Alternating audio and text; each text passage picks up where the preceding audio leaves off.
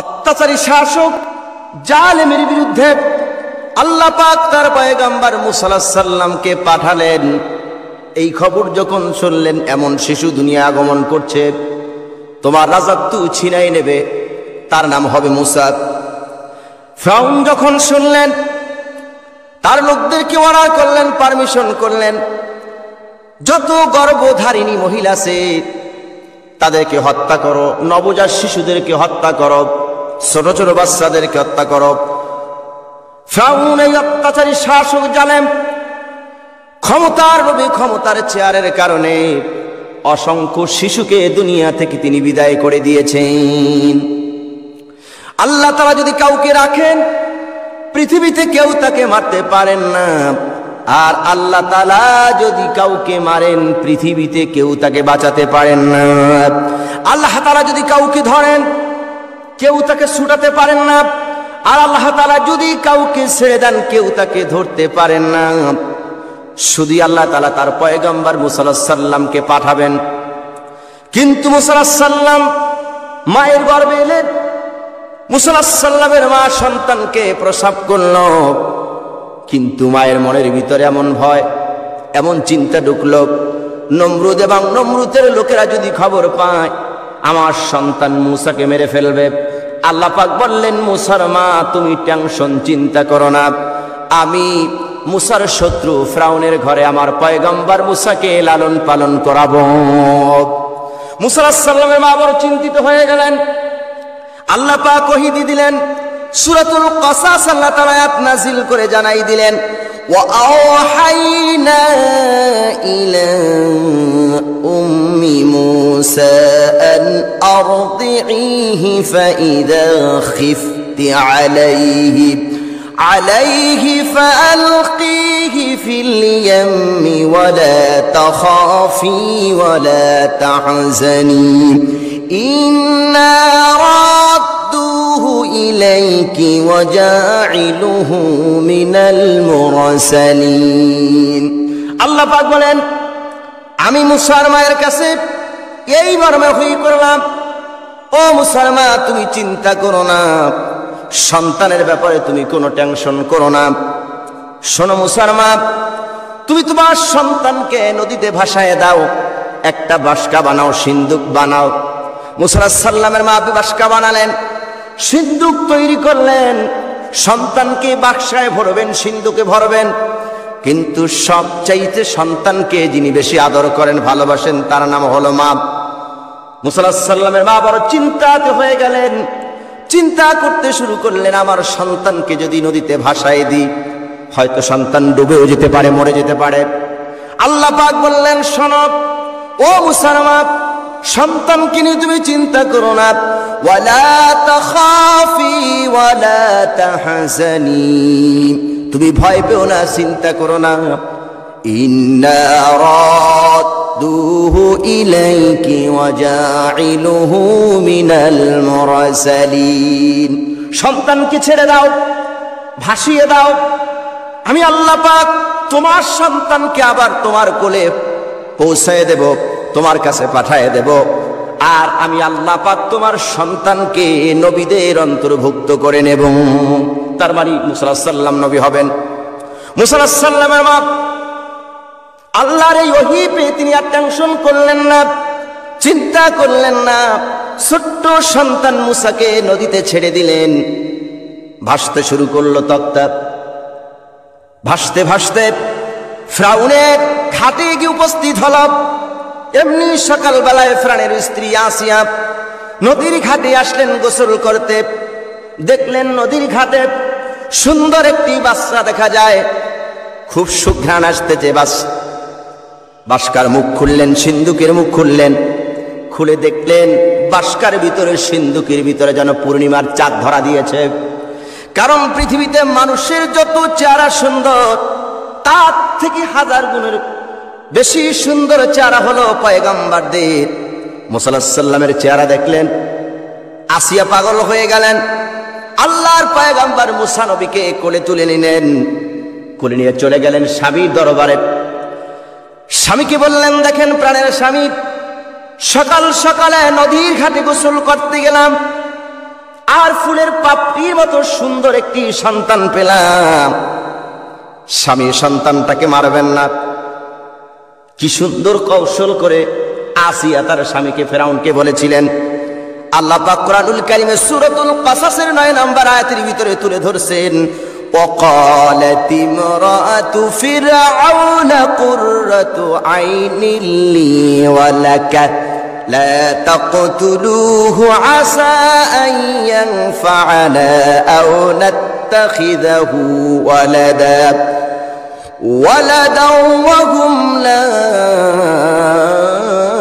يشعرون আসিয়া বললেন প্রাণের স্বামী এই ফুলের পাপড়ির মতো ছোট্ট ছেলেটি আপনার আর আমার নয়নের মণি লা তাকতুলুহু আর এই সন্তানকে আপনি হত্যা করবেন না আসা আইয়াম ফাআনা আও নাত্তাখিদাহু ওয়ালাদা প্রায় স্বামী শোনেন আমাদের তো কোনো সন্তান নাই যেটা আমরা সন্তানের মতো লালন পালন করতে পারি। এবং এই সন্তান আমাদের কাজে আসবে। ঠিক ফ্রাউন মেনে নিলেন। মুসাল্লামের থাকার খাবার ব্যবস্থা হয়ে গেল। শত্রুর বাড়িতে আল্লাহ পাক মুসাল্লামকে লালন পালন করলেন। এই জন্য তিনি হচ্ছেন কুল্লি কাদির।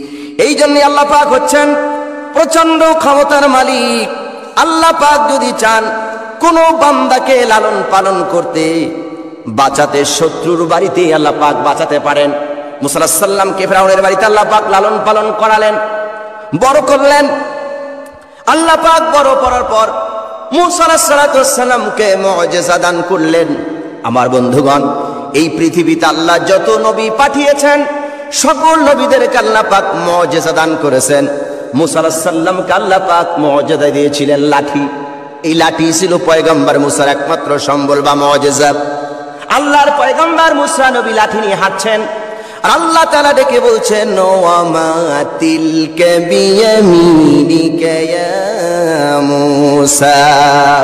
হে মুসা, আমি দেখতে পাচ্ছি হাত তুমি হাঁটছ।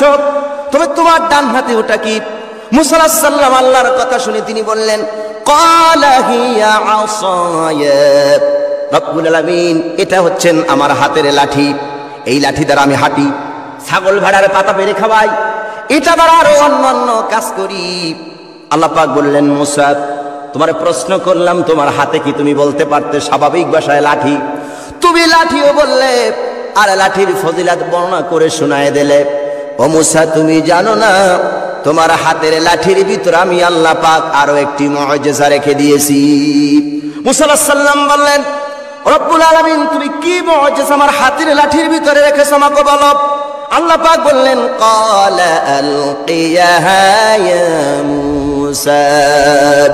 মুসা, তুমি তোমার হাতের লাঠি ছেড়ে দাও। পয়গম্বার মুসা যখন হাতের লাঠি ছেড়ে দিলেন فألقاها فإذا هي حية تسعى ছাড়লেন লাঠি লাঠি ছাড়তে দেরি সাফ হইতার দেরি হয় নাই ছুটাছুটি করছেন মুসাল্লাম পেয়ে গেলেন ভয় আল্লাহ তারা বললেন সাল্লা মুসা তুমি লাঠি হয়েছে সাপ আর তুমি সাপ দেখে ভয় পেয়েছো না ভয় পেলে চলবে না কলা খুজহা ওয়ালা তাখাব তুমি এই সাপরে ধরো, ভয় পেও না।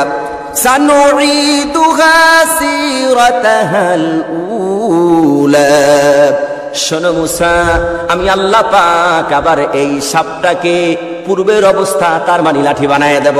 মুসাল্লাম বললেন, সাপ, হয়ে গেল লাঠি, আবার সারতেন লাঠি, হয়ে যেতে সাপ। এটাই ছিল মুসাল্লামের বড় মজেজা এই মজা দেওয়ার পর আল্লাহ পাক মুসাল্লামকে বললেন ফিরাউন তুমি চলে যাও ফ্রাউনের কাছে চলে যাও। আমি একাত্মবাদের দাওয়াত দাও দাও। আমি যে দাওয়াত দেব ফেরাউনের বাড়িতে গিয়ে তো একটা অসুবিধা হয়ে গেছে। আগুনের কয়লা নিয়েছিলাম, মুখে আমার জিব্বাটা পড়ে গেছে, জড়ত হয়ে গেছে। তিনি দোয়া করলেন رب اشرح لي صدري ويسر لي أمري واحلل عقدة من لساني يفقه قولي আল্লাহর পয়গম্বর মুসা আলাইহি ওয়াসসালাতু ওয়াসসালামকে দেখে দে বলেন রব্বুল আলামিন ফেরাউনের বাড়িতে যখন আমি আংরা খেয়েছিলাম আগুনের কয়েল খেয়েছিলাম আমার মুখ পড়ে গেছে মুখে জড়তা লেগে গেছে আয় আল্লাহ তাআলা ও আমার রব ও আমার স্রষ্টা আমার মুখের জড়তাকে দূর করে দাও। আমার ভাষাকে সু মিষ্ট ভাষী ভাষা বানায় দাও। আর আমার কথাকে মানুষ বুঝতে পারে, এমন ব্যবস্থা করে দাও, ভাষাকে প্রাঞ্জুল ভাষা বানায় দাও। আর আমি একা তো যেতেই পারি না। আমার একজন সাথী সঙ্গী দরকার, তিনি আর কেউ নন, তিনি হলেন আমার ভাই হজরতে হারুন। হজরত হারুনকে দেওয়া হল, আল্লাহর পয়গম্বর মুসাল্লাম দাওয়াত দিতে গেলেন ফ্রাউনের কাছে। কিন্তু ফ্রাউন দাওয়াত কবুল করলেন না। ফ্রাউনকে দাওয়াত দিয়েছেন মুসাল্লাম কিন্তু ফ্রাউন দাওয়াত কবুল করেন নাই। যখন বলছে, ফ্রাউন দাওয়াত আপনি গ্রহণ করে নেন, ওই আল্লাহ তাআলার উপর ইমান আনে, বিশ্বাস স্থাপন করেন। ফ্রাউন তো দাওয়াত মানলই না, বরং জালিম শাসক মুসা সাল্লামের উপরে ঝাঁপায় পড়লেন। মুসা সাল্লামকে তাড়া করলেন, আল্লাহর পয়গাম্বার সামনে চলে গেলেন। ফ্রাউনের লোক আর ফ্রাউন দলবল নিয়ে মুসা তাড়াতে শুরু করলেন। আল্লাহর পয়গাম্বার মুসা যখন নদীর কাছে চলে গেলেন, সাথী সঙ্গীরা বলছেন, ও পয়গাম্বার মুসা, এখন বোধহয় ধরা পড়ে যাব। ফ্রাউনের লোকরা আমাকে হত্যা করে ফেলবে। মুসাল্লাম বললেন, সাথী সঙ্গীরা, চিন্তা করো না, টেনশন করো না। অবশ্যই আমার রব আমাদেরকে একটা পথ বের করে দিবেন। আল্লাহ বললেন, মুসা, তোমার হাতে আছে লাঠি আছে তোমার হাতে মজা এই লাঠি দ্বারা তুমি নদীর উপরে আঘাত করো। আল্লাহর পয়গাম্বার মুসাল্লাম আঘাত করলেন। বারোটা রাস্তা হয়ে গেল। আল্লাহর পয়গম্বর মুসা আলাইসালাম আর তার সাথী সঙ্গীরা রাস্তা পার হয়ে ওপারে উঠে গেলেন। ফ্রাউনের লোকেরা এসে দেখলেন, ফ্রাউন দেখলেন, বড় বড় রাস্তা তৈরি করা। আর ওই রাস্তা দিয়া পার হইতে শুরু করলেন। মাস পথে যখন গেলেন, দুই দিক থেকে আল্লাহ রাস্তা বন্ধ করে দিলেন। ফ্রাউনের লোক যা ছিল, নদীতে পড়ে চুপনি খেয়ে পানি খেয়ে দুনিয়া থেকে বিদায় হয়ে গেছে। ফ্রাউনের পালা। এবার ফ্রাউন পানি খাচ্ছেন। একবার নিচে যান আর একবার উপরে যান। একবার নিচে যান আর একবার উপরে যান। বাসার আর সাধ্য নাই।